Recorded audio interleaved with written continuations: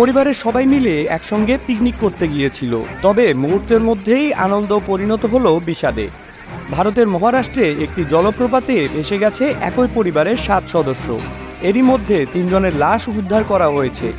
ভেসে যাওয়াদের পরিবারের মধ্যে দুইজন কোনো রকমে সাঁতরে উঠতে পেরেছেন। আরও দুইজন রয়েছেন নিখোঁজ।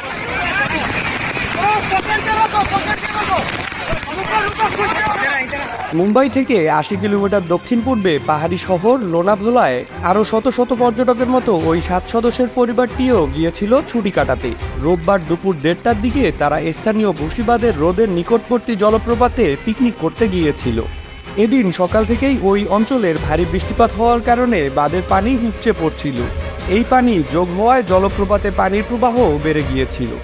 সেখানে থাকা অন্যান্য পর্যটকরা তীরে ভিড় করে তাদের সাহায্য করার চেষ্টা করছিল। কিন্তু ছুটে চলা পানির উন্মুক্ততার কারণে কেউ ঝাঁপিয়ে পড়তে পারছিলেন না।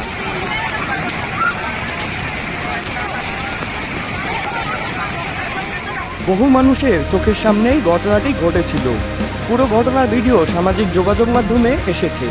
আতঙ্কে জমে যাওয়ার মতো এই ভিডিওটিতে পরিবারের শেষ মুহূর্তগুলো উঠে এসেছে।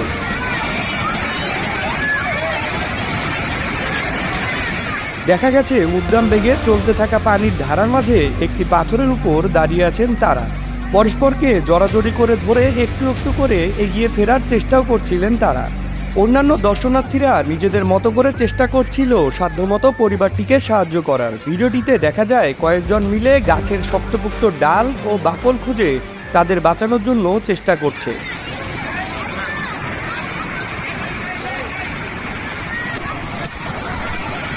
তবে শেষমেশ শেষ রক্ষা হলো না। এক মিনিটের কম সময়ের মধ্যেই ধেয়ে আসা পানির প্রবল ধারা তাদের ভাসিয়ে নিয়ে যায়। নিচের দিকে ভেসে যেতে যেতে তারা চিৎকার করে তাদের বাঁচানোর জন্য অনুরোধ করতে থাকেন। মর্মান্তিক এই দৃশ্যটি সামাজিক যোগাযোগ মাধ্যমে ছড়িয়ে পড়ার পর থেকে সব দর্শনার্থীদের হৃদয়কে নাড়িয়ে দেয়।